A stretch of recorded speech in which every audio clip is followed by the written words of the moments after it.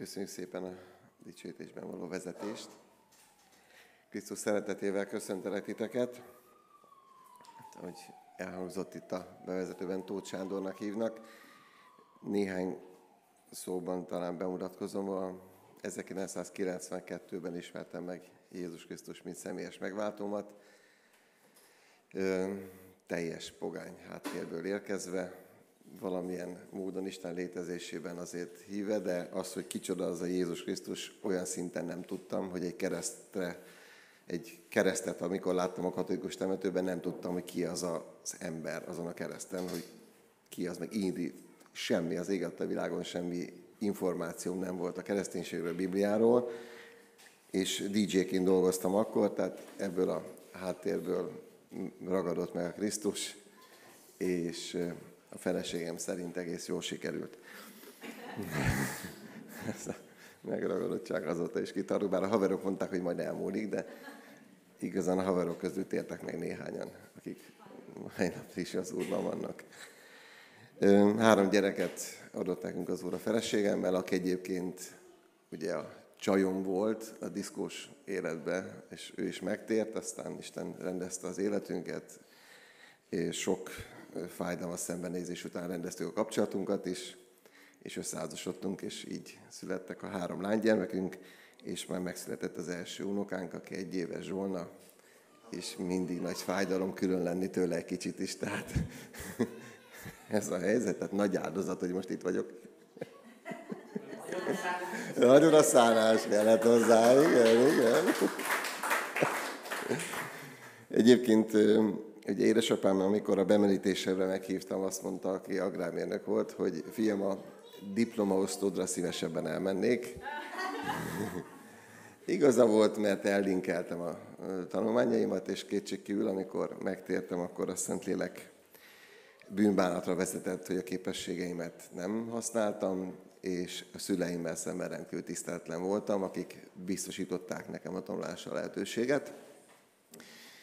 És tényleg nagyon összetörtem, és le is írtam egy imádságot, hogy Istenem, hogyha adsz nekem lehetőséget még, hogy tanuljak, akkor én ezt megteszem. És hát egész, ugye nem vagyok még ott, nem tartok ott, mint lelkipásztorotok, mert ő über-über, de a három diplomát szereztem eddig, és amikor a mérnöki diplomát szereztem, akkor édesapámat, meg édesapámat elhívtam a diplomosztóra, és amikor jöttünk haza, akkor átadtam neki a diplomámat, és mondtam neki, hogy emlékszem, mit mondtál a bemerítésemkor, teljesen igazad volt, még adósod voltam ezzel. Hát mind a ketten sírtunk.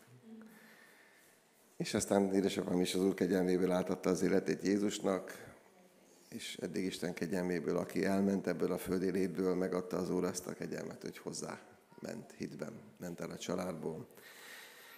Aztán gyülekezet, ifi szolgálat, ifi pásztori munka, gyüleketi szolgálat, sok minden. Közben a Isten úgy vezetett néhány gyülekezetplántálás mellett a munkát nem lehet feladni, mert nem kivenni lehet olyankor, nem be kell tenni.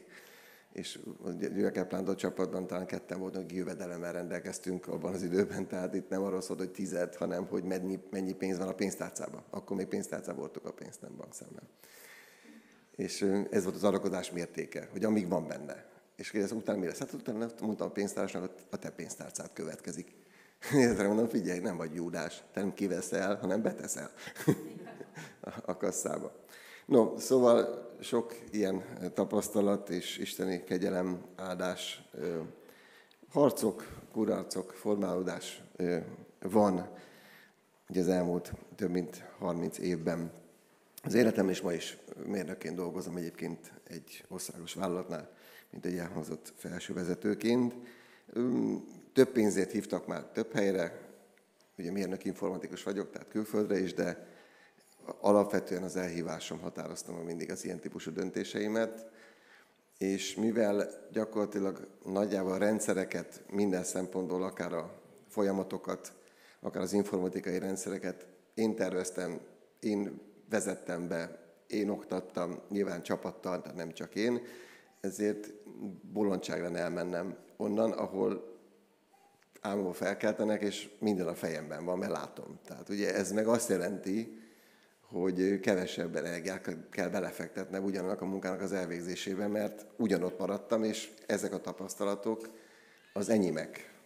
És ha elmennék valahova, akkor nyilván ott pár év megint, még megszerz az ember ezt a fajta megértést és ismeretet. Ezt csak úgy elgondolkodásképpen javaslom megfontolni. Két ige szakaszt hoztam nektek, nem lesz kivetítve, figyeljetek. Ezt szoktam mondani mostanában a gyülekezeteknek, meg testvéreknek, hogy, hogy most fog történni a mai napnak a legfontosabb része. Felolvasom az igét. Hajlamosak vagyunk úgy gondolkodni, hogy majd utána, amikor magyarázzák, az a lényeg. Nem, nem, nem, nem. Ez az örökkévaló ige. Er, ennek a szellemében fogok beszélni, több dolgot megosztani, de a lényeg az most hangzik el, amit az odaszánásról én gondolok és megértettem. 1 Timóteus 4 héttől, ha megkeresitek, azt jól teszitek, 1 Timóteus 4 héttől, a 16-os versig olvasok egy ige szakaszt. 1 Timóteus 4 hét. A szentségtörő és vénasszonyos meséket pedig utasítsd el. Inkább gyakorold magad a kegyességben mert a testanyagatásának kevés a haszna, a kegyesség, azaz az Istennek tetsző élet pedig mindenre hasznos, mert megvan benne jelenés a jövendő élet ígérete. Igaz beszédezés teljes elfogadása méltó, hiszen azért fáradunk és azért küzdünk, mert az élő Istenben reménykedünk. Aki üdvözítője, megmentője minden embernek, de leginkább a hívőknek. Rendeld el ezeket és tanítsd. Senki meg ne vessen ifjúkorod miatt, hanem légy például hívőknek beszédben, maga viseletben, szeretetben, hitben, tisztaságban. Amíg megérkezem, legyen gondod az írás felolvasására, az ige hirdetésre, a tanításra. Ne hanyagold el a benned lévő kegyelmi ajándékot, amelyet a proféci által kaptál a vének kézáltételével. Ezekkel törődj, ezekkel foglalkozz, hogy előre haladásod nyilvánvaló legyen mindenki előtt. Legyen gondod önmagadra és a tanításra. Maradj meg ezek mellett, mert ha így cselekszel, megmented magadat is, hallgatóidat is. És még az Akariás 4.6 verset, erre ő így szólt hozzám. Az Úr igéje ezt mondja az Erubábelnek. Nem hatalommal és nem erőszakkal, hanem az én lelkemmel, mondja a seregek ura. No, hát az első eh, gondolatsor akkor ezt követően az aszkézisről egy pár gondolat, hogy hogyan is alakult ki a kereszténységben egy máig ható olyan szemléletmód, hogy a, a testanyagatása az valamilyen módon egy szellemileg magasabb szintre röpíti az embert. Talán az egyik legmeghatározóbb személy ebben a Tertulianus, aki egyébként nagy teológusa is volt az egyháznak, és a korai gondolkodását a keresztényeknek jelentősen meghatározta, ahogy ő gondolkodott és ahogy ő látott, és elég jellemző is volt. Ő a második században és harmadik század elején alkotott, apja katona volt. Nem tudom, ismertetek-e olyat, akinek katona volt az apja? Ha van köztetek olyan, akinek esetleg katona volt az apja, akkor sok mindent megért Tertullianusról. Ő a Krisztust szolgálni, mint az ő katonája eszmét vallotta, így gondolkodott az életről hadd olvassak néhány dolgot róla. Tertulianus szerint minden kereszténynek aszkétának kellene lennie. Az aszkézis mindenkitől kérhető, mondja ő, mivel mindenkinek van szabad akarata. És a Szentlélek is megígérte, hogy segíteni fog ebben. Az aszkézis legmagasabb formája a mártíromság, a vértanú halál. A mártíromság jutalma a mennyország. A mártírhalál elég tétel minden bűnért. Mártír kibékít Isten haragját, és ismét Isten szeretetében részesül. Ugyanez az aszkétákra is érvényes, csak kisebb mértékben. Tertullianus egy dolgot helyesen értett meg, ez pedig a megszentelődésnek a folyamata, amiről odaszánjuk az életünket. Ez rendben volt nála, csupán azt hibázta el, hogy a megszentelődés folyamatát a saját jó cselekedeteink által gondolta véghez vinni. És így is eh, próbáltam meggyakorolni, és azt mondta, hogy ennek a jó cselekedeteknek a gyümölcse, a jutalma végül az, hogy üdvözülünk, tehát a megváltásban részesülünk, és bemeltünk a mennyországba. Ugye ennek a gondolatait jelentős mértékben megtaláljuk, nem csak a katolikus egyházban egyébként. Ezért a Krisztus engesztelő áldozatának jelentősége elhomályosul nála. Tertullianus tökéletes életes alkat a kortársait, mert ő azon a véleményen volt, hogy a tökéletes élet már a Földön elérhető. Nem véletlen, hogy egy szélsőséges karizmatikus szektában köt ki. Montanus nevéről nevezik ezt a szektát. Ő egy, egy okult hátterű ember volt, aki megtér, és a Szent Szellem által azt tanította, hogy egy nagyon odaszentelt élettel már a Földön magas szentséget lehet elérni. Tehát egy karizmatikus szentség mozgalom volt, két profétanővel, akik extázisban a paraklétosztól szóltak, és már-már ugye Montánoszt is a paraklétosznak nevezték, a Szentléleknek nevezték, nincs olyan nap alatt egyébként. Tehát mi volt benne? Egy, egy, egy szentségre törekvés, és megpróbált egy kicsit ilyen misztikus köntösbe öltöztetve, egy ilyen lélekkábítóval, ennek ebben a szélsőséges tanokba belesodorta, hogy, hogy ez elérhető, és ez az illúzió. Aztán megvan ezekben a szélsőséges élményközpontú mozgalmakban, mert amíg benne vagy a hatásban, addig elhiszed, hogy te tényleg más vagy, mint a többi. Egy különbés vagy, mint a többi. Ez, ezzel jár egy vallási gőg is. De hát mondom, nincs olyan nap alatt. Hadd mondjak egy másik dolgot, ehhez nagyon nagy kísértésünk van. A szívünk az úgy működik, hogy nagyon szeret kapaszkodni a láthatóban. Luther Calvin mondta, hogy a szív a legnagyobb bálványgyár egyébként, az ember szívének legnagyobb. És akkor vannak, vannak ilyen szent bálványok. A lelkipásztor és a gyülekezet. Mit jelent ez?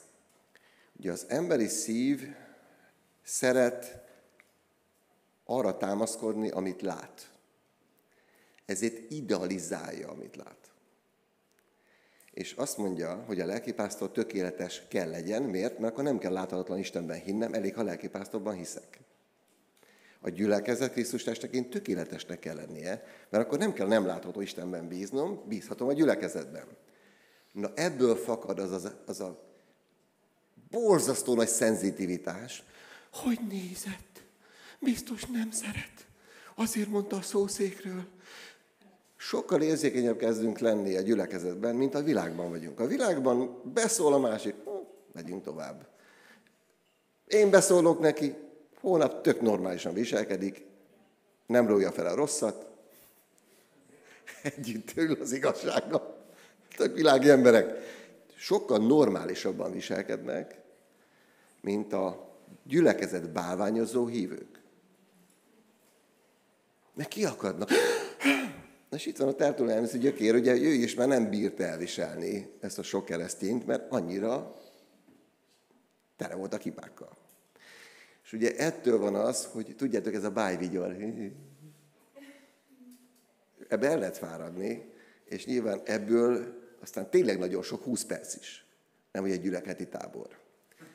Na, kedveseim, eh, nagyon élvezzétek azt, hogy most a Szentlélek munkájába vagytok benne. Báványok omolnak le. És igenis látni fogjátok egymást. Nagyjából alanatúr, de nem, mert ugye magunkat se látjuk így. Tehát még magunkat sem teljesen tisztában, ezt ne felejtjük el soha, haladunk ezen az úton. Tehát nekünk a szívünk megcsalhat bennünket, és vigyázzunk erre, sajnos ez is belecsúszott ebbe. Aztán nézzük a szerzetes mozgalmakat, mert ugye ez lett aztán a következő fázisa ennek a földi szentségkutatásnak. Ugye Remete Szent Antal, ő sok festőt ikletet, nem tudom, a festészetet ki szereti, és ki nézte meg a Szépművészeti Múzeumban a Bosnak, a Hélenemi Bosnak a képeit, akkor ugye Remete Szent Antal egész sorozatban meg volt festve. Nem véletlen, hogy iklette, de nézzétek meg, és hoztam is egy képet, hogy ez Bosch képe, vagy nem, azt nem, nem néztem utána, de a képi világából simán lehet mert ő nagyjából ilyen naturalisztikusan szerette sokkolni a kortársait a középkorban. No, Antonius 260 körül tér meg, Egyiptom, Egyiptomban született, és ebben a században tér meg, és hallotta prédikálni az igét, hogy ugye a gazdag ifjú megtér. A gazdag ifjú története, és ugye ő elkullog, és nem adja el mindenét. És aztán hallja azt is, hogy másik alkalom, ne aggódjatok holnapért, holnap majd aggódik magát, és akkor eldönti, hogy eladja, mert nagyon gazdag ember volt, eladta minden vagyonát, és azt két a életet választott.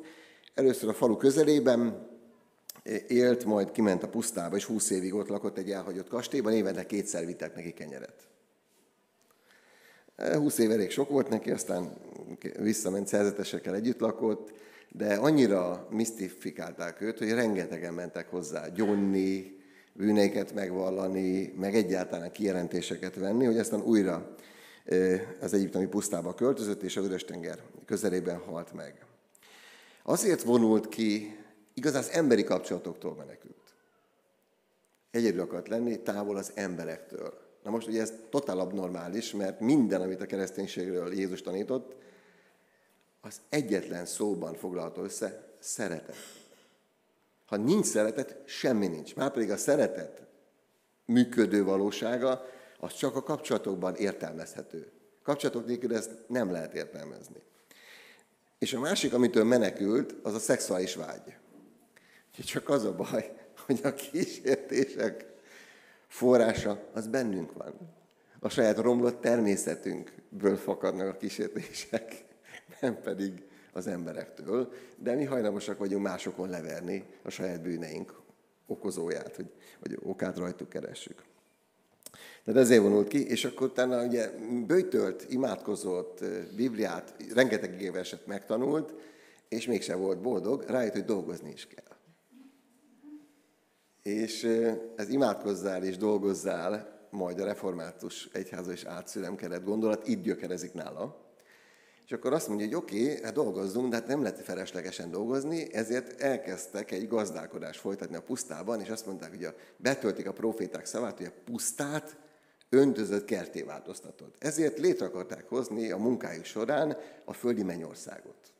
Tehát a pusztát megváltoztatni, öntözött kert, és azt mondja, a profécia itt esik be, hogy gyakorlatilag létrehozzuk ezzel a szent élettel, meg a munkával a földi mennyországot. Hát tudjuk, hogy ez halva született próbálkozás. És mikor kint van a pusztában, ugye pusztában oda helyezi egyébként több helyen a Szentírás proféták könyve, meg ugye Jézus esetében is látjuk a démoni tevékenységet aktívan. Ne küldj bennünket a pokolba, ott se akarnak lenni, de mondja Ézsás, hogy a pusztai sakálok és démonok lakóhelye, a, romok, meg ez a elhagyott területek, és gyakran átéli Antal, hogy jönnek a démonok és megkínozzák. Tehát fizikailag megverték és megtépázták, ezt ő vallást tesz erről, erről szól ez a festmény, jönnek a démonok, és akkor így jól meghúzzák a haját, meg ütik, verik, és tényleg fizikai bántalmakat szenvedett el. Hát én nem gondolom, hogy nekünk ez lenne a vágyálmunk, hogy ilyen típusú küzdelmeket folytassunk a démonokkal.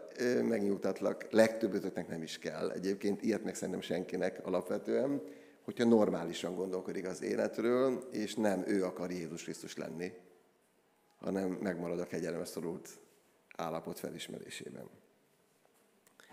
Igen, és az önmegváltás itt jelenik meg a szerzeteseknél, hogy olyan jónak lenni, hogy már nincs szüksége megváltásra, mert gyakorlatilag az én önjóságommal sikerül magamat ki emelni a kárhozatból. És Krisztus már nem megváltó nekik, hanem követendő példakép. Ez nagyon nagy különbség, hogy Krisztus az az életemben, aki nélkül levegőt sem tudok venni. Az életem, a létezésem, az üdvösségem minden ő, vagy valaki, aki jó ember volt, és Isten fia volt, nézzük meg, mit csinál, és csináljuk utána. Soha nem lehet meg Jézusulni. Mert a tökéletes emberek, azok már mind meghaltak. Mert a mennyországban vagyunk, leszünk csak tökéletesek. Akik a Földön élünk, azok mind törekszünk a tökéletességre, és ez a legtöbb. ami igaz lehet ránk. Szóval egy barátommal sokat vitáztunk, és adott nekem egy ilyen képeslapot, egy bebábozódott hernyó volt rajta, és rá volt írva, még készülőben. hogy legyek megértő bele. Jó üzenet volt tényleg. Biztos én is tudtam volna neki egy képes lapot adni, de... Nagyon különös volt a kapcsolatunk, ezt elmondom nektek. Képzeljétek el, hogy én éreztem a feszültséget benne. Irritált azt, aki én vagyok. Az, aki én vagyok egyébként. De erre biztos más is, tehát nem akarok. Hát de lehet, hogy más is. És képzeljétek el, hogy érzékeltem ezt a feszültséget, és egyszer leültem vele. De nagyon jóban voltunk korábban, és éreztem, hogy megromlik a kapcsolatunk. És benéztem a szemébe, és mondtam neki, hogy tettem valamit, amivel bántottalak, vagy, vagy miért változott meg a hozzám való viszonyulásod? Nyilván önmagában az, hogy létezem, de nem, van ilyen is. Na. Nem mindenki lesz a barátod, hagyjuk ezt az illúziót. Ezt ember választja, meg a barátság, ugye sok minden kell hozzá. És akkor lényeg az, hogy voltak benne gondolatok, amit én hozzám társított. Hogy én hogyan gondolkodok róla, ami nem volt igaz. És én mondtam neki, hogy figyelj, akkor maradjunk annyiban, amikor meglátsz, akkor legyen benned az, hogy én szeretlek téged. És nagyra értékellek. És bármikor meglátsz engem, ez jusson eszedbe. És máig napig nagyon jobban vagyunk. Elvágták. Azt a feszültséget ott megszűnt. És miből táplálkozott? Egy gondolatból, ami nem volt igaz. Mert nem is igaz, hogy úgy gondolkodtam róla, hogy ő ezt feltételezte rólam. De ezt kellett beszélni. Na, az első századi keresztényeknek a ö, törekvéseit talán meg is értjük, mert ugye várták vissza Krisztust, és próbáltak a lehető legszentebb életet élni, és hát látjuk, hogy nem a legjobb megoldásokat választották, amire nekünk is vannak ugye esélyünk, hogy nem a jó megoldást választjuk az orasszánásunkban.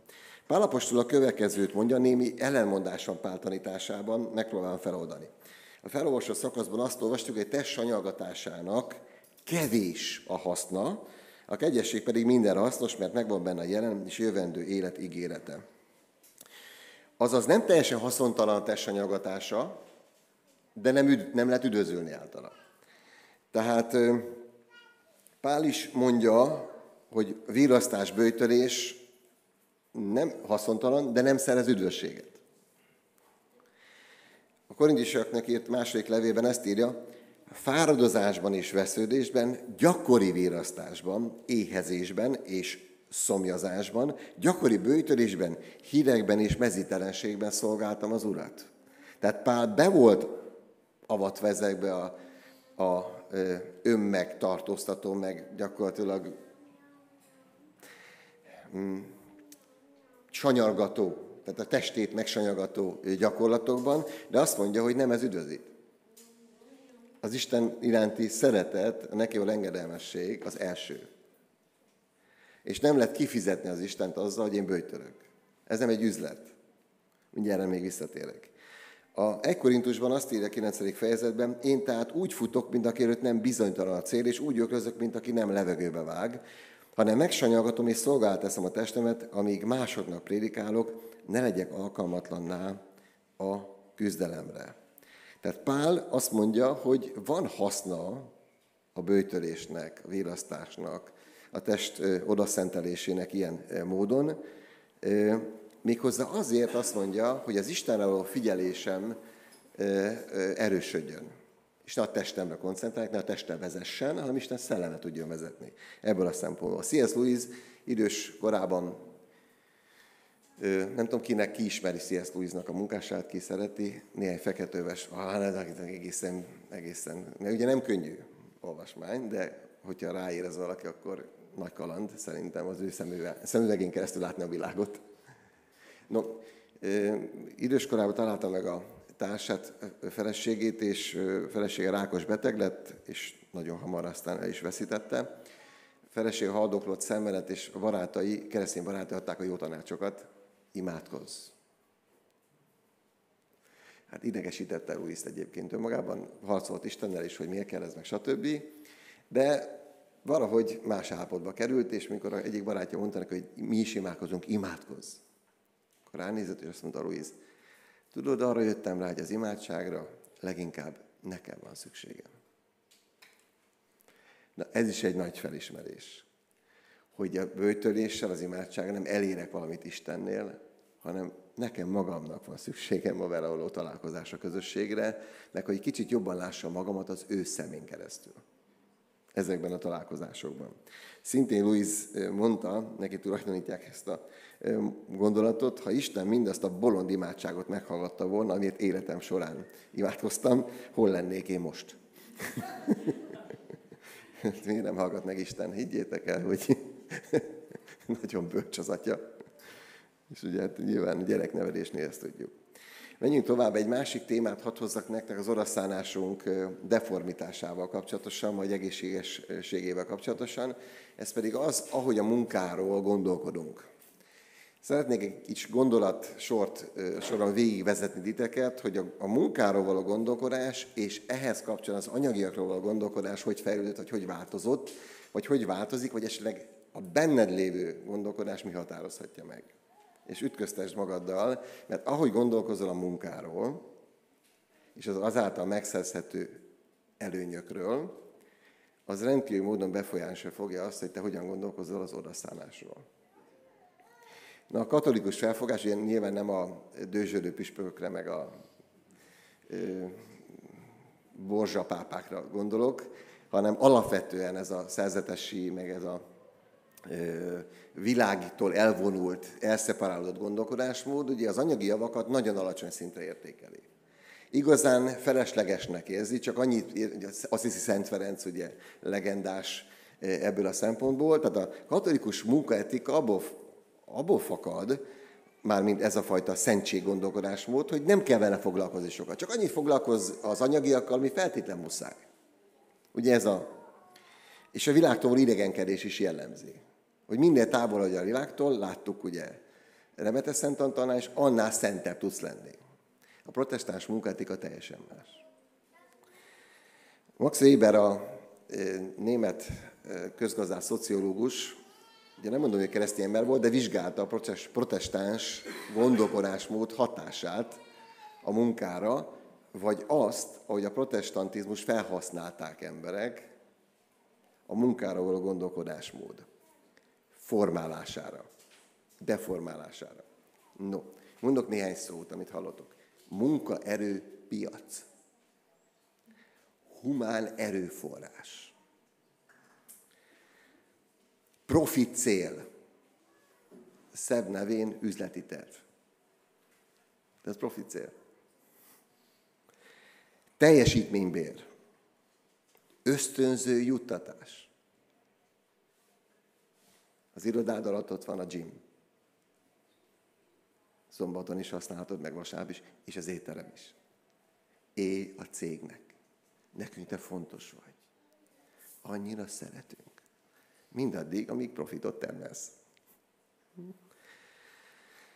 Szóval ezek a szavak, amikkel mi találkozunk, és Weber addig megy, hogy a protestáns volt egyszerűen elősegítette a kapitalizmus kialakulását, sőt a kapitalizmus kialakításában eszközként használták fel a protestáns munkaetikát. A protestáns etika megszabadította az embereket a javak szerzését tradicionálisan etikai problémákkal párosító gondolkodásmódtól. Sőt, egyenesen isteni áldással párosította a gazdagodást. Isteni akaratot tulajdonított neki. Ö, és Weber megfigyelése szerint a kapitalizmus kialakulásának fontos eszköze volt a vallásnak ez a típusa. No, tehát ha változtatni akarsz egy gazdasági rendszert, szellemi erő kell hozzá. Ezért kell keresni egy vallást hogy az emberek lelkérje hassál, és meg tud változtatni. Mi az, ami kellett a, a iparosodó világban, a kapitalista világban? Ugye minél több profitot termelő fej. Ezért szabadítsuk fel a nőket, mert hát borzasztó, hogy a nők el vannak nyomva otthon, és szegények fel lettek szabadítva, dolgozhatnak, meg nevelhetnek három gyereket, meg vezethetnek háztalást. Annyira szabadok a nők. Igen, nagyon igazságosak vagyunk most már velük. Csodálatos. Kapjanak annyi fizetést, mint a férfiak. Igen, nagyon jó. Szerintem sokkal igazságosabb volt egyébként az a világ, amikor a férfi keresett annyit, hogy a nőt föl tudta szabadítani, hogy a nagy értékű munkát, ami társadalom szempontjából rendkívül értékes, az otthon végzett munka, örömmel tudja eh, végezni, és ne egy nyűgöt lásson magának, ami akadály számára a karrierje megélésében. A tradicionális társadalom szemlélet a kapitalizmus hőskorában az volt, hogy ugye megvoltak a társadalmi rétegek, és a társadalmi rétegek számára megvolt az, hogy egy társadalmi réteg mit tud elérni. Mi volt számára elérhető? Utazás, ö, ta, oktatás. És amikor elérte a melós az ő társadalmi szintjének megfelelő színvonalat, nem is akart többet, mert nem volt átjárhatóság. Csak nagyon ezen. És akkor elment a kocsmába haverokkal. Ő nem akar többet dolgozni, nem akar túlórázni, na ebből kellett felszabadítani a munkaerőt, a humán erőforrást, hogy akarjon többet dolgozni, és ne elégedjen meg, hogy csak ötöt állít elő, hanem akarjon tizet előállítani. Zsigereljük ki, mert? Mert a profit a cél. És ezzel felhasználták a vallást, mert ugye a kálvinizmus predestinációtana kapóra jött, és itt van egy gondolat, az a gondolat, hogy a rendszeres és módszeres munka megvéd a kísértéstől, látjátok, nem csak Remete Szent Antalnál van ilyen gondolat. Meg a kísértéstől, az időfecsélés pedig bűn, elvezetett a hivatás gondolatán alapuló, a racionális életvezetés gondolatához és annak elterjedéséhez. Végső soron elősegítette a kapitalizmus kialakulását. Ha akarta, ha nem. Ez nagyon kemény gondolat. Tehát önmagában az, hogy a te hivatásod, az a vallásod, ez nem evangéliumi. És ezt elhitették velünk. Hogyha a cégért minden megtesz, és én is elhittem évekig. Mindaddig elhittem, amíg nem szembesültem azzal, hogy akik engem foglalkoztatnak, azok nem barátaim, bár elhitették, hogy azok. A varázslásnak nagy foka működik. Fontos vagy, szeretünk, te vagy az első, csapatépítés, csináljuk. Mind a profitért van, hogy te többet termeljél. És nem máshol ad az erőforrásodat, hanem a cégért élj. És én nagyon összetörtem ezen egyébként, és mélyen komoly zavar került a lelkembe, és Isten aztán a prédikátor könyvét hozta elém, és hosszú idő után megszabadultam, de ennek van előzménye is, aztán még mondok pár gondolatot ehhez, meg a prédikátor könyvéből is. Ja, annyit jelezzetek már, hogy mikor, öt percen mikor van, mert akkor befejezés, akkor majd délután folytatjuk. A, képzeljétek el, hogy a főnököm engem jelölt ki egy amerikai ö, rendszer ben, hogy egy ilyen menedzser szűrét csináljanak velem. És velem teszteljék a rendszert, és akkor meg is csinálták a teszt, és akkor leült velem ez a coach, hogy elmagyarázza nekem, hogy mi jött ki ezekből a tesztekből. És akkor egy dolog volt, ami engem nagyon megütött, azt mondta, hogy túlzottan lojális vagyok. És ez a lojalitás a cég iránt, ez az egészségemre is veszélyes. De milyen baromság az amerikaiak? Megint baromságot jönnek, hát hívő vagyok. Hát így kell élni. Hát meg kell csinálni a más munkáját is. Nagyon kényelmes volt a kollégáim élete, mikor azokat is megcsináltam, és a főnököm annyira szeretett. Én annyira szeretve voltam. És igazi jó barát voltam. Minden, minden megcsináltam. No, és akkor prédikátor könyve, szabadítás, és aztán elkezdtem nem megcsinálni. Ez csak a főnököm néhány hét mondja, megváltoztál. és akkor már lehet, hogy azt se csináltam, amit meg kellett volna. És, akkor, és, akkor, és akkor ez beállt azért valami normális, normális medelbe, de még Isten küldött egy külső embert is, hogy figyelmeztessen, hogy bolondul gondolkodok. De én meg voltam győződve, hogy az a gondolkodásmód, az az Istennek tetszik és tönk kizsigerelte az életemet, és éjszakákban, meg, meg szabadságon is dolgoztam, meg nem volt olyan meló, amit ne csináljak meg határidőre, stb. stb. stb. Oké, okay.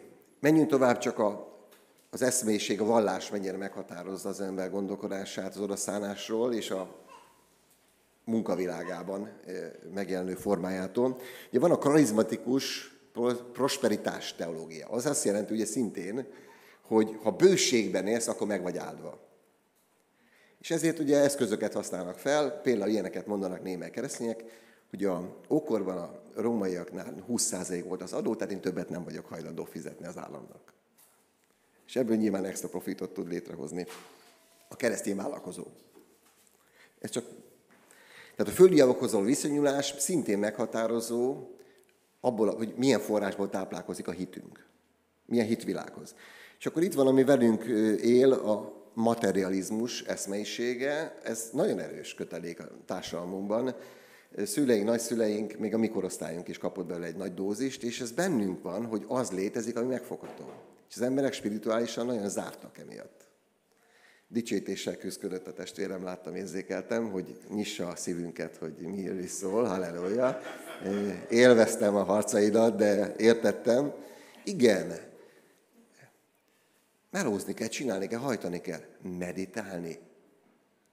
Csak úgy lenni Isten előtt. Hát az bűn, hát Dávid is. Fenn a tetőn csak bámészkodott. És én megvannak az igénk, amiket ezekre mondunk, és nem értékelünk olyan szellemi gyakorlatokat, amelyek biblikusak. És igazán elcsendesedni, sétálni egyet, imádkozni, azt mondom, magam lelkéről beszélek. Hát én ezt, mentem a feleségemmel, sétáltunk az utcán, mert rávett, hogy elmegyek sétálni, és megkérdeztem tőle pár perc múlva, hogy ennek most mi értelme van? Hát mi a cél ennek, hogy itt sétálunk? A feleségem rám nézett, nagyon kedves volt egyébként. Azt mondta, mert nekem ez jó. No, ez egy jó cél. És akkor... De, na szóval vannak ilyen sztoriaim.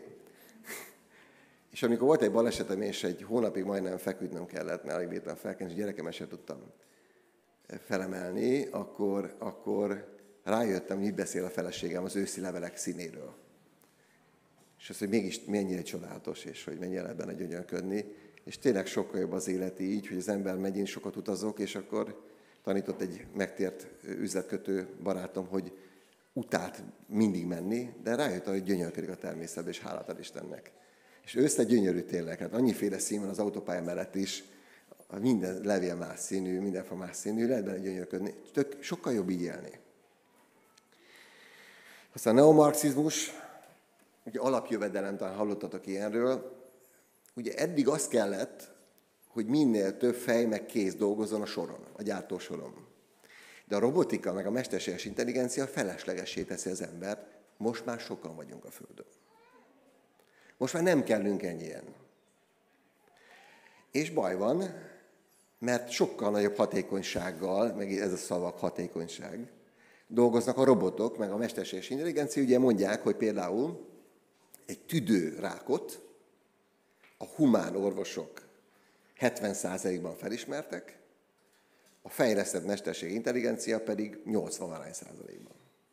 De jogi döntésekben is, a Watson az IBM-nek ez a mesterséges intelligenciája, nagy, nagy számítógépe, pontosabban alkalmazta a jogszabályokat, mint a humán ügyvédek. Tehát, kedveseim, nem? Így van, így van, igen. Tehát a precedens jog van, ugye ekkora könyvek vannak. Köszönöm szépen, azért ez fontos volt kiegészíteni. És hogy... Tehát Magyarországon még nincs esélye, de...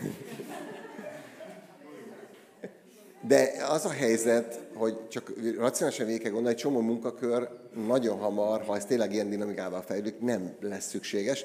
Ezért most már beszélni kell a alapjövedelemről, és át kell állítani az emberek gondolkodását a gazdaságról. Ez pedig vallás kell.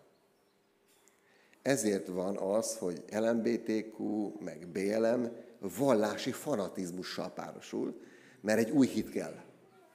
Az emberek figyelmét át el kell találni másra, hogy aztán bárgyú módon ünnepeljék majd az új világrendet. De pontosan az történik, mint a kapitalisták, ahogy felhasználták, generálták, fizették, pénzelték, és ebben pedig Isten megmutatta a kegyelmét, mert mégis egy csomó jó dolog jött ezzel. Most is ez történik a háttérben, hülyének néznek bennünket. De nagyon. És mi pedig birka módon lezsigerelve, letompulva, megtelve információval, gondolkodást megspórolni akarva, éljük az életünket. És akkor a Prédikátor könyvben néhány tanúsága, amit itt leírtam, Lowry professzor segített, ez is egy külön sztori, most ez nem, nem lényeges, hadd olvassak néhány gondolatot a Prédikátor könyvéből, ami nekem segített. Miért küzdenek az emberek? Szórakozás, siker, jólét, hírnév, tudomány, technológia, pszichológia. Mit akarnak ezzel elérni? Boldogság, fontosságérzet, megelégedettségérzet. Az ember nem ura az időnek, nem ura a világnak, nem ura önmagának, nem ura a sorsának, ám az ember mindezeket uralni kívánja. Erről szól a prédikátor könyve. A prédikátor elsődleges kérdése tehát, vajon megéri-e kifizetni azt az árat, amit az életünk céljaiért adunk? Megéri-e? Az ember folyton a megelégedettséget, a boldogságot keresi az életében, és amivel csak tudja, helyettesíteni próbálja az Istenben való hitet és bizalmat. Úgy, mint gazdagsággal, hírnévvel, vívványokkal, sőt, még a bölcsességgel is. A prédikátor véleménye szerint Isten úgy alkotta meg a világot, hogy az ember ugyan elérheti ezeket a célokat, mégsem talál beteljesedést, igazi boldogságot általuk. Az ember a világ ellenmondásaival kénytelen szembesülni, azért előbb-utóbb felteszi a kérdést. Miért? Miért küzdök? Mi értelme van? Majd a válasz keresés közben felfele tekint. Mennyi idő van még? Van még egy kicsi. Akkor menjünk tovább. A kedves barátaink, ő helyettük még robot nem épít, de már 3D technológiával falaznak robotok, jelzem. Tehát olyan szuperül betonoznak, hogy elképesztő. Ez a ciki nem a falábni. Ez a durva. Oké, okay. és nyilván ugye ilyen nappal tudnak dolgozni, van anyag. No, az oroszlánásnak az Ószövetség képe nyilván az áldozatok. Az áldozat bemutatása. Van egy áldozati forma, amit a Mózes harmadik könyvében, az első és kilencedik versben jó illatú tűzáldozatnak nevez a Biblia. Ez az orosz szentelésnek a képe. És ugye van rossz illatú áldozat is, egyébként meg biztos rossz illatú volt, mert beleket megmosták, ugyanis azt égették ott, tehát ez nagyon büdös lehetett. Ezért ugye egy ellenmondást látunk, jó illatú áldozat egy ilyen gusztustalansággal. Nem volt neki szép alakja, amiben gyönyörködhettünk volna. Ugye ez Krisztusra mutat. Az odasszánásunknak a példája, az igazi tűzáldozatot bemutató, életét oda teljesen a szentelő. Példaképünk Krisztus. Mi őt követjük, nem egymást, nem a lelkipásztort. Példákat adhatunk egymásnak, segíteni tudunk egymásnak, de csak abban, hogy Krisztushoz kötődjen a szív. A kellemetlen illatú, vagy a rossz szó bemutatott áldozat pedig azt mutatja be, hogy Krisztus felvette a bűneinket. A tűzáldozat azt mutatja, hogy Krisztus elszenvedte az oroszánásunk hiányosságainak büntetését, a vétek áldozat pedig azt mutatja be, hogy Krisztus elszenvedte a bűneink büntetését. Tehát ebben minta nekünk, hogy Krisztus elszenvedte az oroszlánásom hiányosságait, és Krisztus elszenvedte a bűneink büntetését. Tehát az oroszlánást összekötjük az Ószegység képekkel, akkor Krisztuson keresztül értjük meg az igazságot. Milyen üzenet van nekünk ebben. Pál így ír erről. De hála legyen Istennek, aki Krisztus ereje által mindenkor diadalra vezet bennünket. És ismeretének jó illatát, illatát terjeszti általunk mindenütt. Mert Krisztus jó illata vagyunk, Isten dicsőségére, mind az üdvözülők, mind az elkárhozók között. Tehát ezt a jó illatot árasztjuk, csak nem mindenki egyféleképpen érzékeli. És erre mondja, ezeknek halál illata a halára, amazoknak pedig élet illata az életre. Majd a 118-as Zsoltában ezt olvassuk, az Úr az Isten, ő adott nekünk világosságot. Kötelekkel kössétek az ünnepi áldozatot az oltár szarvaihoz, ez jó kép, hogy a mi életünk élő áldozat. Tehát ez nem úgy van, hogy egy táborban megérint a Szentlélek, és akkor le is van tudva. Sok vallásosság fakad ám ebből, tehát hogy ilyen konferenciákhoz kötik az emberek az Istennel való találkozás, nem pedig folyamatában élik meg. Nagyon fontosak ezek a különös alkalmak, de ezek részei a folyamatnak. Mi folyamatban élünk a Krisztussal. Nem különleges eseményeket akarunk, mert az szánalmas. Meg el is fárasztja a lelket. És akkor néhány igen még Csialajos így fordítja Lukács 6.4-et. Hogyan ment be Dávid Isten házába? És hogyan vette el és ette meg az odaszánt kenyereket? Amelyeket csak a papnak szabad megenni, megenniük. Sőt, míg a velen lévőknek is adott, hogy a kenyér, a szent kenyerek asztalán Krisztus megtölteste. Ez is, hogy Dávidot táplálja ez a kenyér. Krisztusra van szüksége. A Krisztus odaszánásából élet fakad, táplálék fakad. És Nehémiás könyve azt írja, hogy elbeszéltem nektek Isten rajtam nyugvó jó akaratát és a király szavait is, amelyeket nekem mondott, hogy ő visszament, hogy helyreállítsa Jeruzsálem leomlott falait. Erre ezt mondták, fogjunk hozzá, és építsük meg. És oda szánták kezüket a jó munkára. Oda szánták kezüket a jó munkára. A gyerekeinknek, a családunknak nem egy testre van szükségük, hanem ránk. Ez is odaszánást igényel. Tehát az épület soha nem épült volna fel, ha nem szállják oda valóságosan a kezüket, és akkor én mondok egy sztorit. Többször elmondtam, most nem tudom miért él ennyire bennem, de biztos nem véletlen. Elhanyagoltam a feleséget, a családomat, mert szolgáltam az Urat. Hát én arra azt tanultam Géza bácsitól, hogy Isten gyülekezett, aztán ami marad. És akkor rájöttem, hogy a feleségemmel már olyan régen nem beszéltem, mert napok óta ő teszi a dolgát, én meg szaladgálok állandóan, még mindig van valaki nálunk, hogy én megyek valahova. És akkor rám terülött, hogy kéne, rendezni, és akkor konyhába főzött. Leültem a konyhaasztalhoz, ránéztem, és azt mondtam a hogy hogy vagy lelkileg? Feleségem megállt. Hát nézett, azt mondja, normális vagy? Így el akarod intézni napok óta, nem is szólsz hozzám? Nem hagyta. Hát én megszégyeltem magam, és akkor lesütöttem a szemem, hogy tényleg üzlet volt. Ez egy piszkos üzlet volt, és semmi másról nem szól, csak az én lelkismerem megnyugtatásáról. És igen, és nagyon komoly paradigmaváltás ment végig az életemben. Isten megadta az eszközeit annak, hogy nem, az Istennek tetsző élet az a családra való figyelés is. És mindenki más csak utána. És rájöttem, hogy aki meg akarja öngyilkolni magát, és felhív, hogy menjek éjszaka, mert mentem, kiúlik az ablakon, szaladjak, éjszaka, jaj, megmenteni. Mondtam neki, most nem érek rá, most itt van a gyerekem. Hát, hogyha holnap még lesz problémád. De tudod nagyon hogy aki hívogat, az zsarol. Ez érzelmi zsarolás, csak ugye én felültem ezekre. Ez nem jelenti azt, hogy nem fontosak az emberek, de nekik Jézus van szükség, nem rám. És én, amit meg tudok tenni, én tényleg megteszem.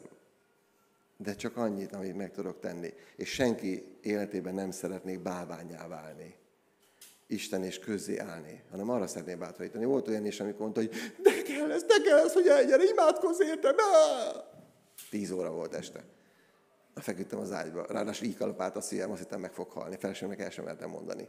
De kiderült azért, mert kaptam egy allergia gyógyszert, aztán a mellékhatása volt, csak a filológiai barátom nem tudta, amit a kardiológus készte, milyen gyógyszert szedek. Hát mondom ezt. Jó, hát sokan jönnek ide hozzánk ezzel a gyógyszerrel, tehát a, az allergiológiáról küldték a, a kardiológiára az embereket, egy gyógyszer miatt. Na, nem is a lényeg, csak hogy ezen gondolkodtam, éppen meg sem mertem mondani a feleségemnek, mert nem tudom, volt-e már ilyen nektek a szívetek, ez nagyon rossz érzés egyébként. Azt feküdtem, mondom, meghalok. Szegény feleségem nem mertem még, csak a hív, hogy neki milyen baja van. És tudtam, hogy ott volt nála délután egy ember, a másik előző nap beszélgetett is imádkozott vele, és mondtam neki, figyelj kedves, az Úr meghallgatta a te imádságodat is, meg a másik két az imádságát is. Biztos vagyok benne, hogy amit megmondtak, az nagyon jó volt. Tehát áldjon meg az Úr jó pihenést, én már most alszok. Furcsának tűnhet ez, meg a lelkipásztori ájdolunkban nem biztos, hogy belefér, de higgyétek el, sokszor ez a fajta szeretet többet segít, mint az önmagam miatt pátyolgató. És hogy azért teszek valamit, hogy én magamat szentebbnek érezzem, mint amit csináltam a feleségemmel. Csak annyira jön nálunk, ez kőkemény, tehát úgy nyírjuk egymást otthon. Az ilyen típusú manipulációt senkinek nem engedjük meg. Balhészhat, hisztizhet, tiszteletlenség nincs, szobádba, csinál dolgodat, ahogy akarod, majd ha megnyugsz, hogy gyere vissza és beszélj normálisan, de az, hogy nekem ez olyan rosszul esett, hát majd kijössz belőle. Persze, ha megbántjuk egymást, bocsánatot kérünk, de annak a típusú zsarolásnak, hogy rábírnak valakit ilyen ráutaló magatartással, neked ezt tudni kéne. Hát ezt is fel kell fedezzük a házasságomban, hogy honnan tudnám, én nem vagyok Isten. És hazamentem én is duzzogva a munkaerről, mert tele voltam feszültséggel, és akkor szóltak, akkor úgy szóltam, és megtanult, meg kell tanuljam, hogy nem tudják kitalálni, hogy mi a velem, és aztán pedig nagymama nagyszerű receptje feleségemnek, eltesd meg a férfit, mielőtt beszélni akarsz vele nehéz dolgokról. És ez egy jó recept egyébként, higgyétek el, jól működik. Na, odaszánás, odaszánás, tagjainkat, életünket odaszánni a kapcsolatainkban egészséges módon. Kellünk, ha a családunk van, Isten rendelt bennünket a gyerekeink mellé, és nagyon hálás vagyok, az Úr megadtak egyelmet, hogy gyerekeink megtértek, nagylánynak hívő házastársam, mindenki szolgálja teljes szívvel az Urat, az lett a büntetés, ha nem járnak gyülekezetbe, de a gyülekezetbe se engedtük meg a randalírozást. De azt a típusú érzelmi randalírozás, zsarolást, amit emberek próbáltak művelni, azt nem találtuk a gyülekezetben sem. Próbáltunk segíteni, hogy figyelj, ez ne, ez így nem, ez nem érzel semmit, meg ez nem. Tehát, mint ahogy engem szembesített a családom, meg én őket, és fordítva, úgy igyekeztünk a szeretetben egymást szembesíteni azokkal a vakfoltokkal, amiket nem biztos, hogy látunk, és egy külön fejezet. És erre mondja Pál, hogy ahogy odaadtátok tagjaitokat a bűnszolgálatára, adjátok oda az Isten szolgálatára. Ilyen egyszerű. És ez a következő gondolatsor, az utolsó öt perc, menjünk tovább, igen. Hogy a szolgálta odaszánásunk, aminek egy fontos ismerve van, hogy építi Krisztus testét. Az a szolgálat, ami én rólam szól, nem hogy építsen, az nem Krisztusi szolgálat. Értsük meg.